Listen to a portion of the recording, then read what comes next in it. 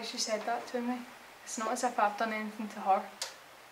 I've always known I'm not as thin as most of the girls in my school, and quite frankly, I'm happy about that.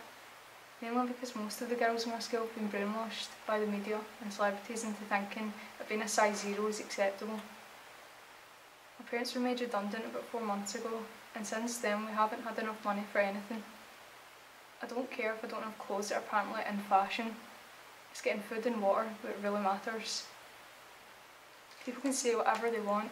Personally, I don't care.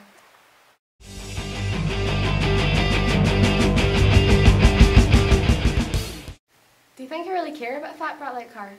It's not my fault that she can't afford good clothes or that she eats too much. I suppose the things I said were a bit horrible. I really need to sort myself out.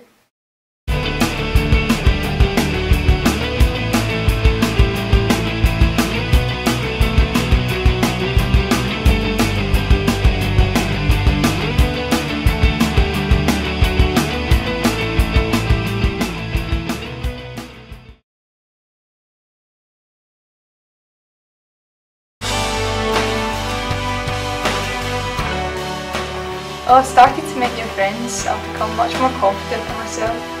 My grades have rocketed up. Got fantastic results in my exam. According to the National Crime Prevention Centre, out of every child that had internet access in 2008, a staggering 40% reported that they'd been bullied online. Many social networking sites allow us to block and report the bullying, and there's also websites such as childline.org.uk who specialise in helping bullying victims involved with any type of bullying. Just remember this, you are not alone. There will always be someone there to talk to and to help you. Thank you.